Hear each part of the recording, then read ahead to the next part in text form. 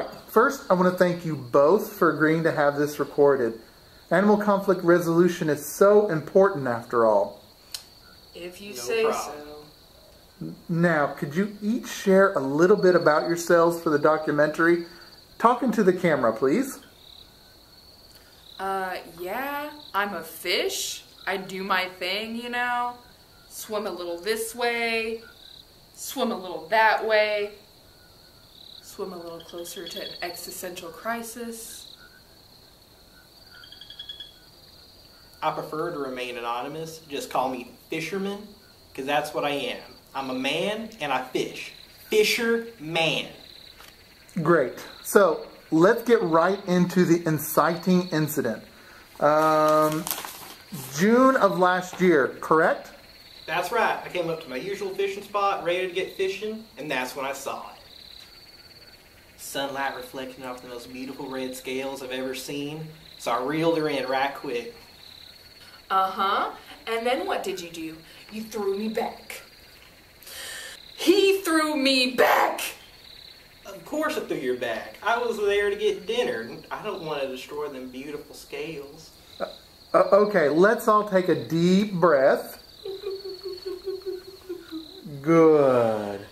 Now, fish, I'm sensing some anger from you. Let's discuss that. Psh, nah, I'd rather not open up that can of worms. Unless you have actual worms. Then I might be persuaded.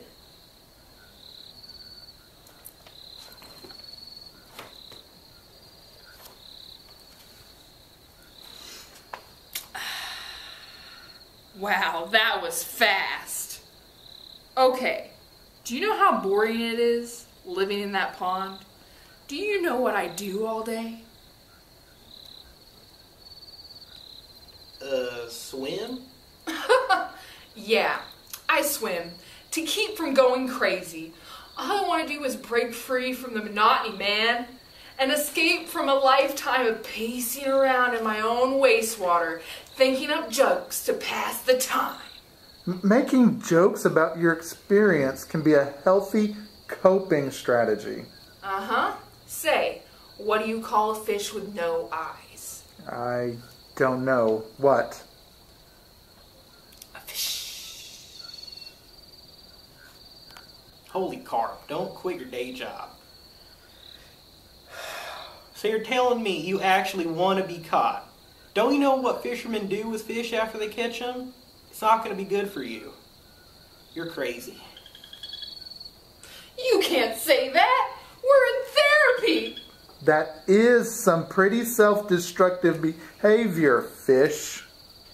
It's called catch and release. That's why I kept throwing you back. Every time I go out to fish, you always snag my hook and catch all, and scare up all the other fish. A man's gotta eat. I was meant for so much more than this. Oh my god. Fishing. A jerk on one end of the line, waiting for a jerk on the other end of the line. I see we're going to need to schedule another session.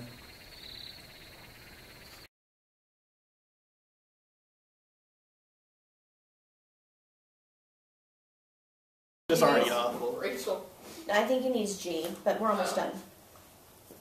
We're on the last. Man's.